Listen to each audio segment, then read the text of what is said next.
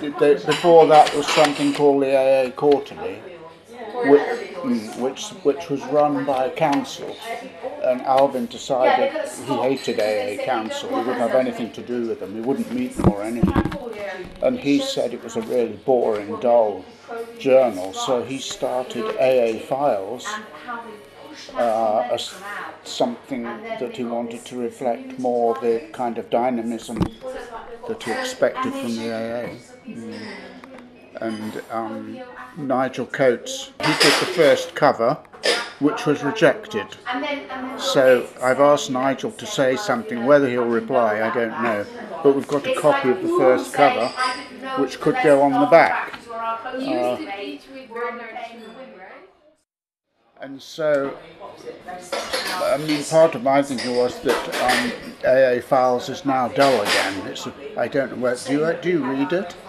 How many of you read AA Files? Yeah. Oh well, maybe I'm wrong.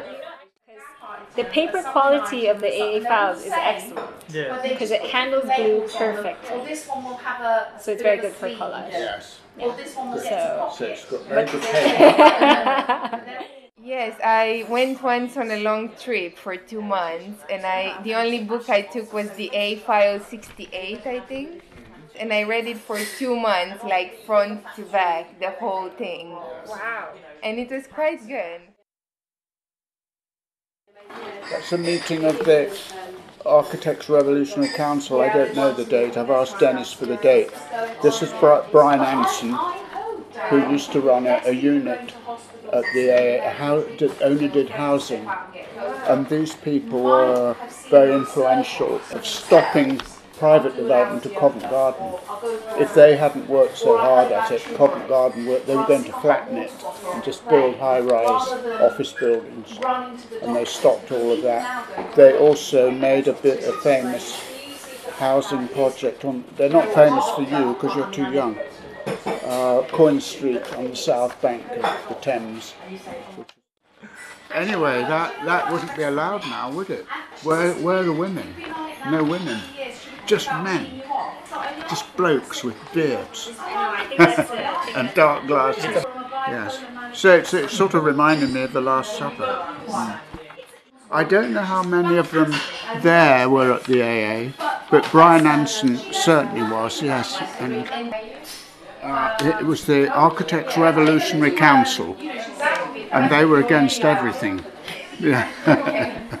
like, So it wasn't just against the A Council; they were just no, called the council. interested, Okay. they just weren't interested in the AA Council. Okay. But Alvin was always very much, he thought the AA Council were a meddling, bunch of meddling old blokes. the council was Alvin's employer.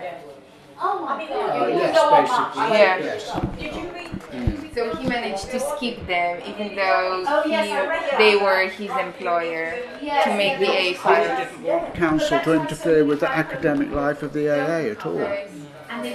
No, he thought they, they weren't qualified to do so, they weren't elected to do so, they were just elected to make sure the AA didn't become a hum, home for selling drugs or um, whorehouse or something like that, you know. But Alvin was very good at hiring people he didn't like, but thought they were really interesting or good. And I don't think he ever liked Brian Anson, but he respected uh, the, his political commitment to a sort of the social purposes of architecture.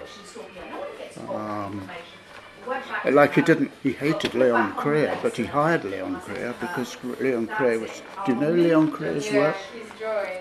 Yeah, because he greatly respected Krier's view of the city and how he was working with the city. So I think that's why so many um, architects became famous because Alvin gave them space, even though he didn't agree with them. Which I think is a bit different now.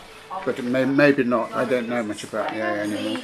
So Ghost Dance Times, I've said, was Martin Pawley, who did a very famous diploma thesis, which is in the archive. Some, it's called a time house or something like that. Mm. But if you ask Ed Bottoms for Martin Pawley's work, and he's written two or three books, his best one is about uh, sheds. You know, all the big sheds you find on the edge of cities for IKEA and stuff like that, and he was writing about that, the sort of um, anonymous architecture. Mm. But, Oh yes, that's that's though, isn't it? That's, mm, but most of those sheds do have architects, funnily enough. But uh, I've forgotten what he called it. Anyway, I'll try to find out. And so that was Ghost Dance Times, and then there was another called uh, Arse. Um, this is uh, Peter Cook. They're making fun of Peter Cook, making fun of me as well. Cedric Price, somewhere down here. Well, there, I, I know it's a bit corny what I'm going to say. People of your age tended to be much more disrespectful. And so uh, tutors were there to be made fun of in a creative way, you know, like, who do you think you are, you know? we had uh, Paul Shepheard came to talk, didn't we? Who's another of, of this generation. He was a student, and then he was a tutor, and did some very beautiful drawings, which are again are in the archive. and he said part of the role of students was always to be, be ahead of your tutor, to be to know more than they did, to kind of wake them up, which I think is. I don't know what you think. You're all you're all students so, uh, from Lorne's perspective, you're a much more obedient generation. You're, you, there's often quite a fear of a tutor because you feel they have power over you. So, I'm not making any particular claims for this, for this, but but I think there was a, a slight, a sort of difference. You know, there was. Um, it wasn't a lack of respect. I think there was. Um, you felt you were all part of the same thing. They weren't just superior to you.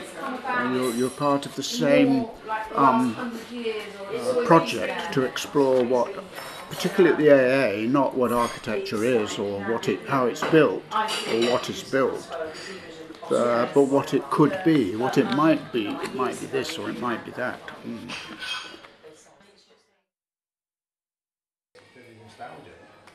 But I think there can be choices as well. I mean, like they have a choice. Now they try to say that like we put things online, and we also keep the the manual one as well. I mean, like the, the hard copy one as well. I mean, like we can distribute to many people. And you mentioned about the collage, right? The collage. Yeah. I think the collage, the good collage, may be like made by our hand. And and I think when we lay out by our hand, we also free ourselves from the from the screen as well, mm. and also free ourselves from the computer program as well. Mm. So that the I mean I like the way to making this the method. yeah, yeah. yeah. I think collaging on the screen is quite different to collaging with scissors, isn't it? Although it's funny, on the screen the, the instructions always cut and paste, aren't they? Yes. Yeah. And because you have to, when you're collaging with scissors and paste, you have to accept the picture that you've got, don't you? Whereas on the screen you can make it bigger or change yeah. the colour. Yeah, exactly. That's yeah. really, really hard. I think. You have more restrictions yes, when you are uh, physical, and that gives you a better direction to do stuff yes. Yeah. Like that's why I would say it's nice to have a magazine because I read it very differently like this. I can take it away in a park and read versus I don't really like to read on my phone. I read mm. on my laptop and it's a different, like I perceive this as a different thing like this versus if I just see the photos online. Yeah, I think magazines I mean, I saw this online and I feel like now that I've seen it printed out, it's differently. Yeah.